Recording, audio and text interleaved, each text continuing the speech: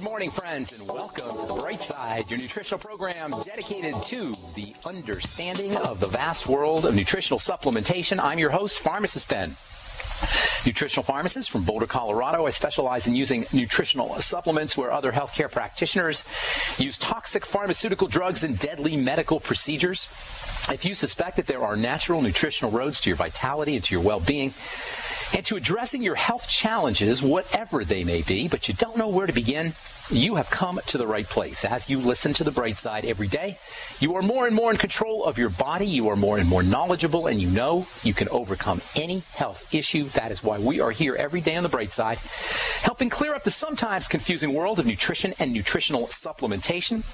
Over the last 27 years of practicing pharmacy, I've seen drug free recoveries from diabetes and hypertension and obesity and skin diseases like acne and psoriasis and eczema, rosacea, digestive ailments of all kinds, autoimmune issues, recoveries that by the standards of modern medicine can only be called a miracle, but what is in the world of the body, what is in the world of biology, standard operating procedure. Because the human biological system is a healing system, it's a regenerating system, it is designed divinely to heal and renew itself on a moment to moment basis. And while some folks may say that's a miracle, this healing and renewing system is just the way the body works. If you have questions about health and nutrition or prescription drugs, we're here for you on the bright side. We welcome your calls at 855 660 4261. Try to get on board early. The phone lines do fill up quickly. I like to get as many calls as we can as we can fit in. So try to get on board early. It's first come first serve at 855 660 4261.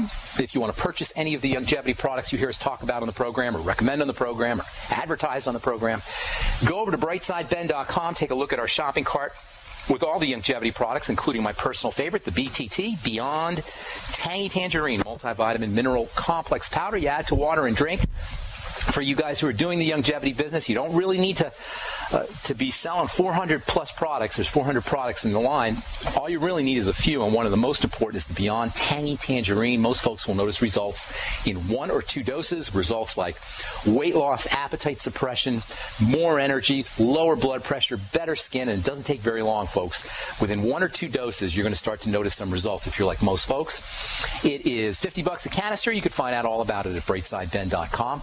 If you have an Android phone, check out the Brightside app. You can carry the Brightside with you on your Android phone. Thank you to Ted Anderson. And if you want to review any of the programs that any of the programs that you've heard or any of the programs that you missed, you can go over to brightsideben.com and take a look at listen to our archives. We have all the programs archived. We also have them at benfuchsarchive.com. Thank you to Peter in the UK. Appreciate that very much. benfuchsarchive.com. All the programs are tagged and labeled.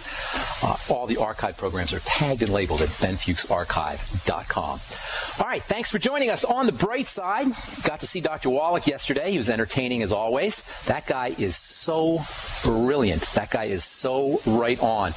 He was talking about how uh, mu- muscular dystrophy, multiple sclerosis, these kinds of diseases that we consider that we just have to live with, that we're condemned to deal with, are reversible, and he's dead on, right on. No matter what your health challenge is, folks, it's reversible given enough time, of course, depending on how far along, uh, how far down the um, down the uh, wormhole you, wormhole you've gone. Uh, all diseases, all breakdown degenerative diseases are reversible. This is the premise. This is the premise of the bright side. This is the premise of the nature of the healing body. The body is a healing and regenerating system. You do need to change your lifestyle, though. You need to change the way you eat. You need to uh, change the way you handle your business. And one of the most important things you need to do is get yourself on a nutritional supplement program. We've been talking about MSM sulfur. Sulfur is truly an incredible, absolutely stunningly important element. MSM is nutritional sulfur. Methyl sulfonyl methane is a form of sulfur that is produced from seaweed. It's a natural form of sulfur. It's easy for the body to absorb. It's got wonderful, pro- all the properties of sulfur, really, you can get from MSM. Next to sulfur's tissue hardening properties, you get detoxification from sulfur. In fact, no element on the periodic table is more important to the body for detoxification than sulfur. We haven't really talked a lot about sulfur and detox, but rest assured, folks, it is the body's primary detoxification element, and sulfur deficiencies are more, are becoming more and more common. Most of the important detox substances in the body work with sulfur. Glutathione, perhaps the most important detox substance in the body, has a little piece of sulfur on it. Sulfur turns long chains of sugar molecules, pieces of sugar, into detox compounds.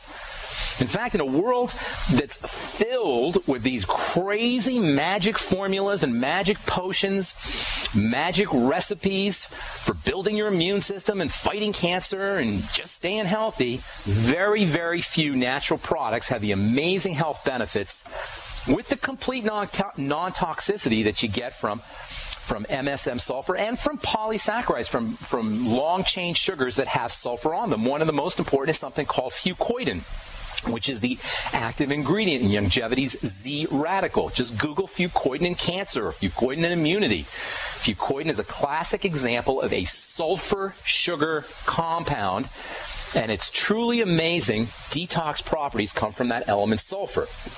One of my all-time favorite supplements is something called NAC or N-acetylcysteine. I've got a blog post up at pharmacistben.com on NAC talking about how you can use NAC for for uh, helping reduce the, the irritation that can be caused by acne, topical acne products like benzoyl peroxide.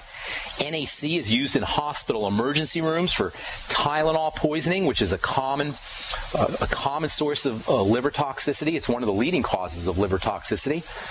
NAC is great for hangovers if you're on Proactiv or Clearasil or any benzoyl peroxide products, put some NAC in your Proactiv or put some NAC in your benzoyl, benzoyl peroxide product or put some NAC in a moisturizing cream and you can help reduce the redness and inflammation that's associated with some of these acne medicines. And then there's sulfur's very important role when it comes to bile. Next to blood and lymph, the most important fluid system in the body is bile.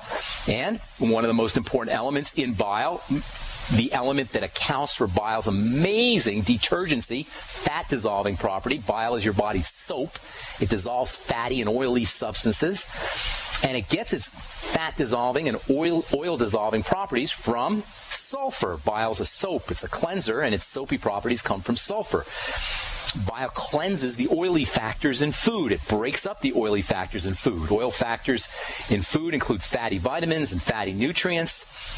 Bile also cleanses the liver of oil factors, including old hormones. Once your bile is messed up, once your bile becomes sludgy and thickened, you are off to the disease races, and there's more and more literature that's showing that there's a very important relationship between sludgy, dirty bile and heart disease between sludgy, dirty bile and atherosclerosis. And guess what? You need sulfur to make bile. Sulfur is highly electrical. It's highly magnetic. It makes things happen. It makes fats more soluble. It magnetically attracts toxins. It's part of your detox system. It's part of your bile system. Bile also is part of the detox system. If you don't have a gallbladder, you got to be really, really careful of toxicity because you've lost your main reservoir of bile.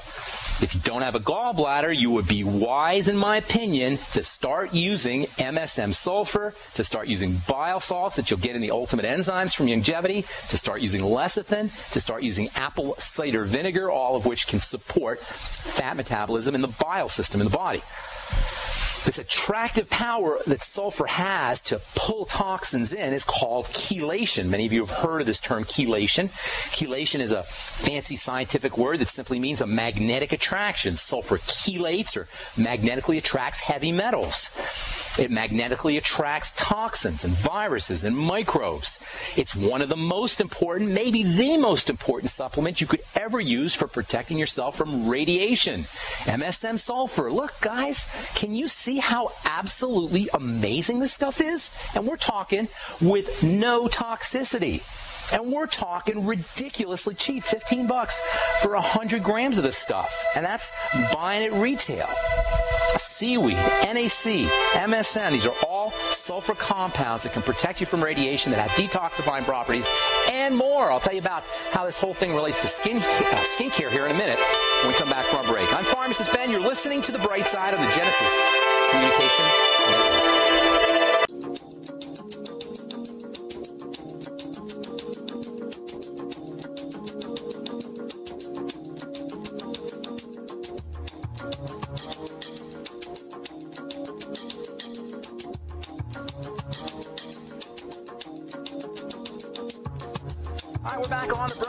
Bright. I am Pharmacist Ben. Got a couple lines open for you at 8, 855 660 4261. 855 660 4261. We're talking about sulfur and MSM. One of the best places you could use sulfur is in skincare. Yes, skincare. Sulfur is involved in hardening tissue, collagen, connective tissue, wrinkle fighting collagen. Requires sulfur. Sulfur deficiencies will keep you from making effective collagen. Sulfur is used topically to deal with acne. It's got a purifying property. In fact, many topical acne products, topical antifungal products take advantage of sulfur. You can make your own acne cream by dumping some MSM uh, MSM capsules into some cream, or you can go buy precipitated sulfur at a, at a pharmacy. That's the smelly kind of sulfur. It's a little bit more medicinal than MSM sulfur, and you can put it in your own moisturizing cream, make your own acne cream. You could put sulfur in an oatmeal mask. Just take some oats and water, mix it up with some sulfur, or throw it in the MSM capsule. Excuse me if you want, you can throw in a raw egg into your mask. Raw egg also has sulfur in it. Raw egg has natural antibiotic properties that may help you with broken skin or blemished skin. And eggs are going to give you some B vitamins as well. Insulin chemistry depends on sulfur. The more insulin you're burning through, the more sulfur you need. The more sugar you're eating, the more sulfur you need. Sulfur is a great way, sulfur supplementation is a great way to make sure that you're building bones too. And as you'll recall, this whole discussion about connective tissue and sulfur and nutritional supplements for building connective tissue began when we were talking about osteoporosis. We're still talking about osteoporosis. And as we finish up sulfur, we're going to talk about vitamin A and how important that one is, that nutrient is for helping build connective tissue and building bone. If your doctor really wants to help you with your bones, what he should be doing is focusing on sulfur, focusing on vitamin A, focusing on fat absorption out of the gut, and focusing a lot less on writing prescriptions for nasty bisphosphonate drugs like Fosamax. We haven't gotten to talk about these bisphosphonate drugs, but they are truly among the most hideous drugs in the entire United States pharmacopoeia. In fact, I believe uh, maybe not the next show, but in a couple of shows, we'll talk about Fosamax and these uh, bisphosphonate drugs. Another great way to get sulfur is from sulfur amino acids. These are building amino acids. A sulfur amino acid is sulfur plus protein, or sulfur protein, some people call them. Typically, amino acids are only carbohydrates with a little piece of nitrogen, but in the case of three special amino acids, you got a little piece of sulfur attached. And remember, sulfur is activating, sulfur is building.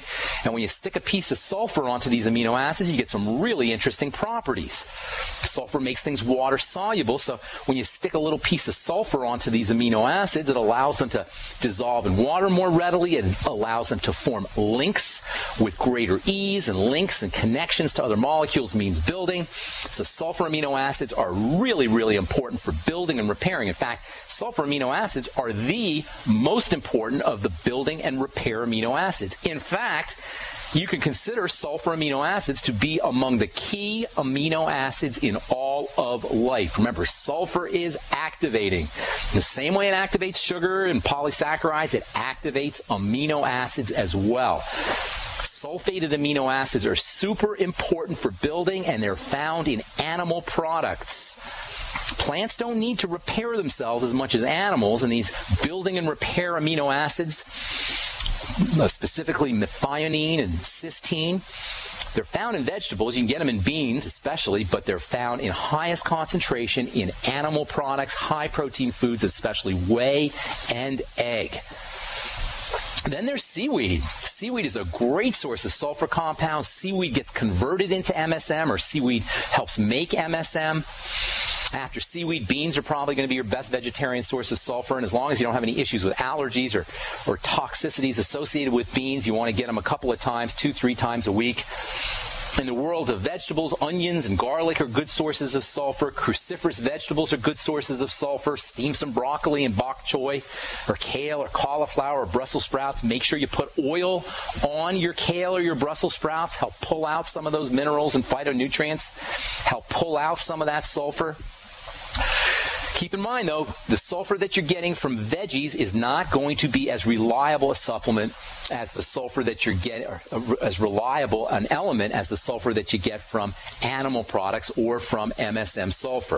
This is another example of the triangle of disease. You, not, you need to have a fully functioning bile system. You need to have a fully functioning liver. You need to have a fully functioning fat absorption system. And you need to have a healthy intestine if you're going to be absorbing sulfur effectively. If you got Crohn's disease or celiac or ulcerative colitis, all of these can compromise the absorption of sulfur and sulfur amino acids. If you have any digestive issue, people, get yourself on MSM. Don't try to rely on sulfur from foods. Get yourself on MSM sulfur. It's worth it. It's completely non toxic and it's inexpensive to boot. Then there is another really interesting sulfur compound, excuse me, very similar to, to MSM it also comes from seaweed, and this is a topical substance that can be used for arthritis. It could be used to treat cancer. It could be injected right in your blood. It's super non toxic. The FDA hates this stuff, by the way.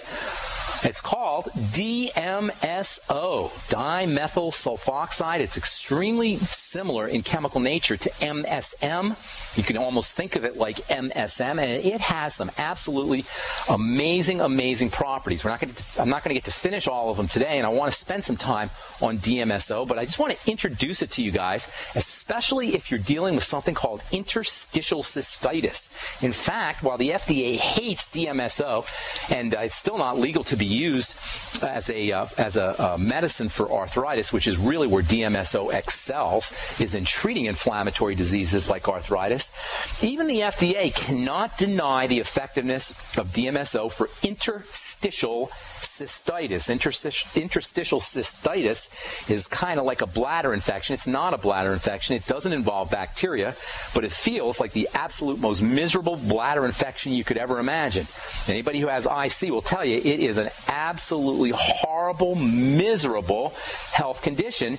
And DMSO is like magic for interstitial cystitis. In fact, DM, first guy who started using DMSO, the guy who's considered the father of DMSO, Dr. Stanley Jacobs, first started doing research on DMSO for dealing with interstitial cystitis, this type of bladder irritation. Now, it's not a bladder infection in the sense that it doesn't involve bacteria necessarily, although sometimes it starts off as a bladder infection. If you're dealing with interstitial cystitis, chances are you're also dealing with fibromyalgia. Chances are you're also dealing with chronic pain in other parts of your body. Chances are you've got other things going on in the system, in the biological system in your body. That's because interstitial cystitis is an inflammatory condition. And guess what, guys? DMSO, dimethyl sulfoxide, non-toxic, gentle dimethyl sulfoxide that you can inject right in your veins. That's how non-toxic this stuff is. Is one of the most powerful anti-inflammatory, free radical quenching, free radical scavenging substances you could ever use. And yet, the only place you can find this stuff is on the internet or in a hardware store. There are so many wonderful benefits for DMSO, for using DMSO. Uh, but we'll uh, we'll cover. I'll tell you a little bit about it when we come back from our break, but we'll cover next Bright Side episode. I'm Pharmacist Ben. You're listening to the Bright Side. We'll be back after this.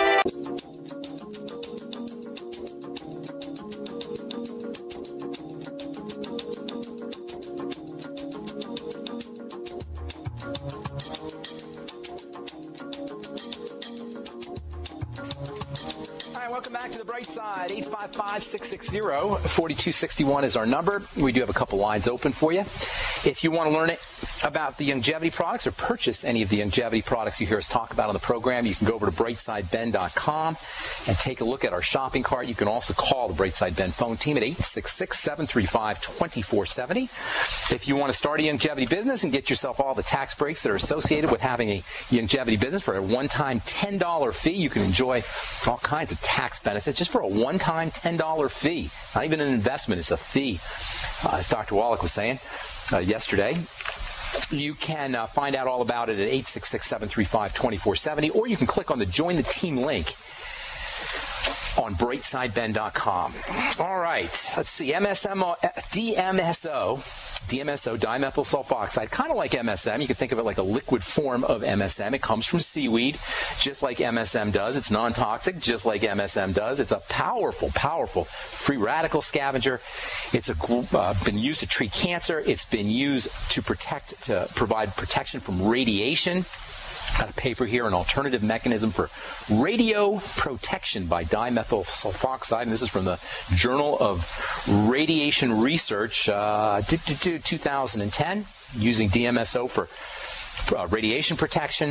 DMSO has been used to treat interstitial cystitis quite effectively. It's been used to treat autoimmune diseases like scleroderma and lupus and rheumatoid arthritis. It's been used to treat ulcerative colitis. These are all published research articles for using DMSO. Why do you get all these multiple benefits, these wide-ranging benefits from this amazing DMSO stuff? It's because it's such a powerful antioxidant and free radical scavenger and anti-inflammatory. That means for pretty much any kind kind of health challenge, you're going to get benefits from DMSO, yet the FDA hates this stuff. Well, guess what? Veterinarians know about DMSO, equestrians know about DMSO, and it's used a lot in the horse business to help deal with arthritis and, and uh, joint and tendon problems in horses, but you get the same benefits using DMSO yourself. We'll talk more about DMSO and its importance for health. And also, I want to talk a little bit about interstitial cystitis and how interstitial cystitis is different from from urinary tract infections, even though the pain can be quite similar. We'll do that on our next Bright Side episode. I'm Pharmacist Ben. You're listening to The Bright Side on the Genesis Communication Network, 855 660 4261 is our number. Michael in Michigan, welcome to The Bright Side. What's up, buddy? Good morning, Ben. How are you? Doing good. What's cooking today? My uh, my daughter, uh, she's uh, 24 right now. Uh, uh, back when I think she was 15 or 16, she started a, a urinary uh, infection. Okay.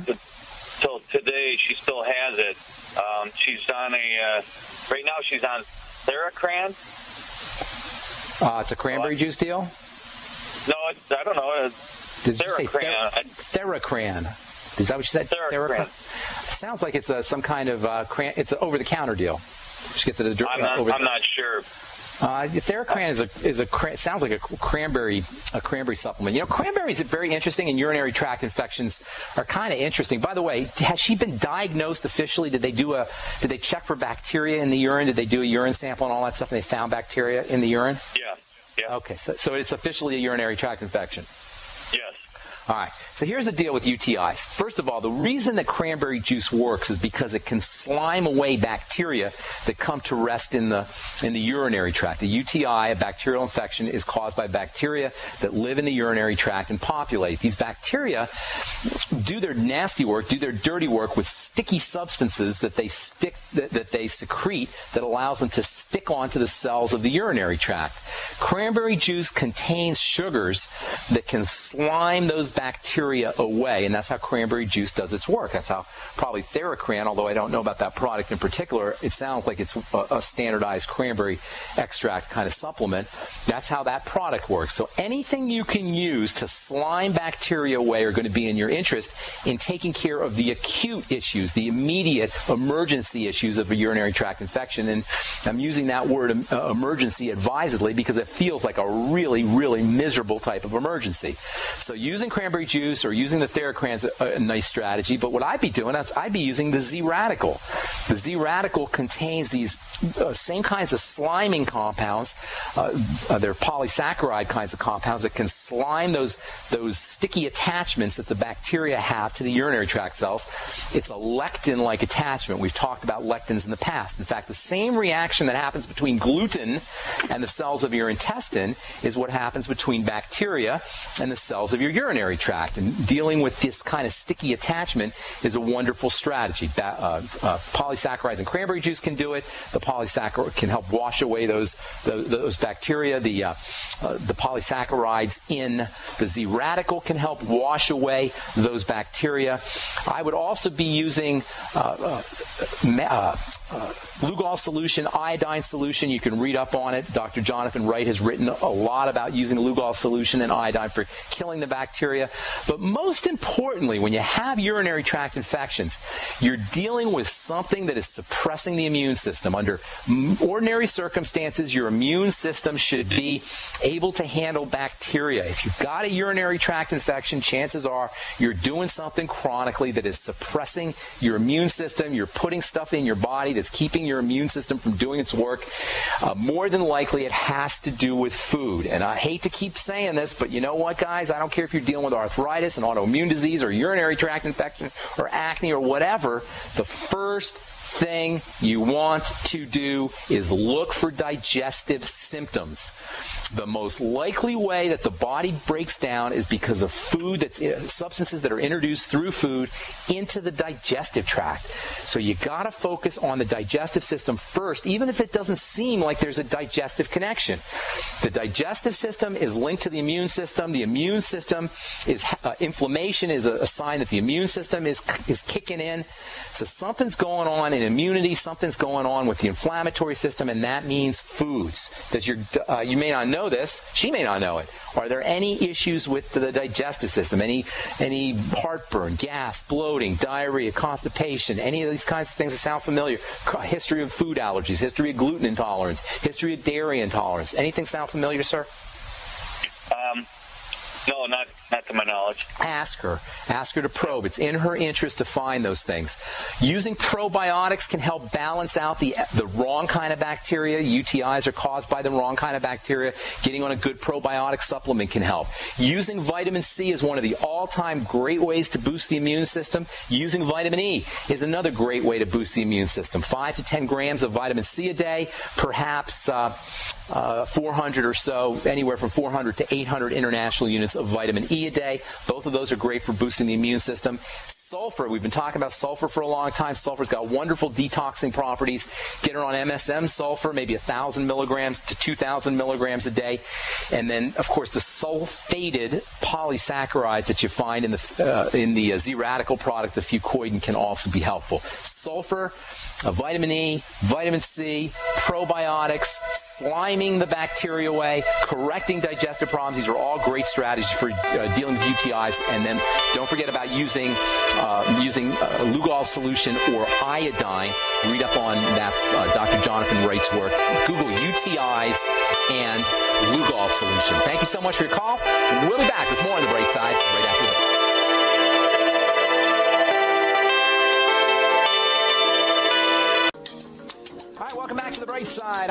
Pharmacist Ben. 855-660-4261 is our number. If you want to learn more about the Youngevity products, head over to brightsideben.com and take a look at our shopping cart. And if you want to join the Brightside Ben team and start a Youngevity business and make some money selling Youngevity products and get all the tax benefits that you get from signing up, for a one-time $10 fee, you can click on the Join the Team link, or you can call the Brightside Ben phone team at 866-735-2470, 866-735-2470. Back to the phones we go. Rosa in Texas. What's up? Welcome to the Brightside. Hello. Hello, Rosa. What's up? Oh, um, how are you, Ben? Thank you for answering my call. Sure. Um, I'm calling concerning H. pylori. Okay. And also um, fatty liver. Oh, for you? Yourself? Okay, well, join the crowd because one out of three Americans is dealing with fatty liver disease. They call it now, it's called non-alcoholic fatty liver disease. It used to be if you had fatty liver disease, you were, you were an alcoholic, you were drinking a pint a day. But these days, it's just part of growing older. And if you go to the doctor, they'll just tell you, oh, yeah, well, everybody's got fatty liver. It's just part of growing older. It's not part of growing older. It's a big problem. The liver is not supposed to be accumulating fat. When the liver accumulate, uh, starts to accumulate fat, all of the liver functions, which are many, begin to become compromised. That means energy production, that means hormone production, that means uh, the detoxification, which is the liver's most important function, one of the liver's most important function. Pretty much your entire body is going to be messed up once fat starts to develop in the liver. And there's a couple big time reasons for that. Uh, first of all, if you got H. pylori, that means you're not processing your food correctly, which means toxicity is going to start to build up in the liver. Something very interesting happens, by the way, when the liver becomes toxic. The body, in an attempt to keep the toxins from getting out into the blood, will lock up the liver it will close the outlet valves of the liver, and the liver, liver can start to swell up. And this can cause a whole backing up of all the fluids in the body, and you can end up with hemorrhoids and varicose veins. Any of this stuff sound familiar, by the way? Any issues with hemorrhoids or varicose veins, ma'am? Um, varicose veins, yeah. Okay, all of this is connected. So what you got to do is we got to start processing foods more effectively. Now, one of the biggest reasons why the liver becomes fatty is because of fructose, fruit sugar, which is handled exclusively by the liver. We've talked many times about how fructose is not the same as ordinary sugar or ordinary uh, sucrose uh, which is uh, composed of glucose and fructose. Ordinary table sugar is a combination of fructose and glucose. When you take in straight fructose, like high fructose corn syrup, which is not straight fructose, but a high concentration of fructose, or if you're eating a lot of fruit or fruit juice, you put a serious burden on the liver. So the first, well, the first thing you want to do is correct digestive issues. That means you're going to have to start dealing with this H. pylori. Number one, what I'd be doing, uh, if you want to start dealing with the H. pylori, number one, what I'd be doing is probiotics probiotics good bacteria. Secondly, H. pylori does not cannot live in high uh, uh, in a lot of acid. The stomach is supposed to be super acidic.